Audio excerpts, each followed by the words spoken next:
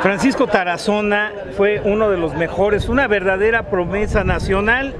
Algo sucedió con él, como ha sucedido con muchos tenistas mexicanos. Sin embargo, el tenis le dio mucho a, Francisco y nos va a comentar de algunos proyectos que nos, no, supongo que no nos va a decir todo, pero él tiene muchas ganas de darle al tenis lo, parte de lo que le dio.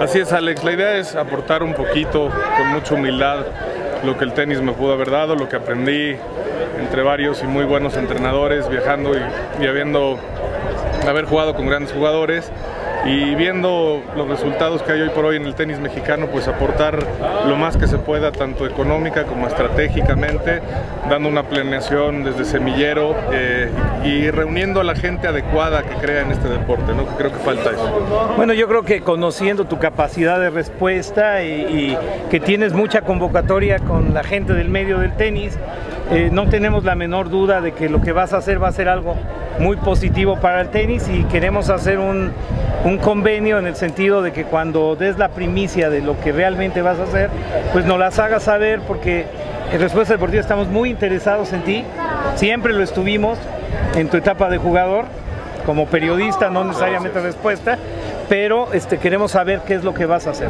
Con mucho gusto, cuenta con eso, sabes que se te aprecia desde hace muchos años y ya, ya, ya escucharás de mí y de buenos proyectos a futuro. Bueno, gente de tenis, promesas, padres de niños de 12, de 10, 12 y 14 años, recuerden este nombre, Francisco Tarazona, porque van a saber de él. Gracias, Francisco. Gracias a ti, Alex.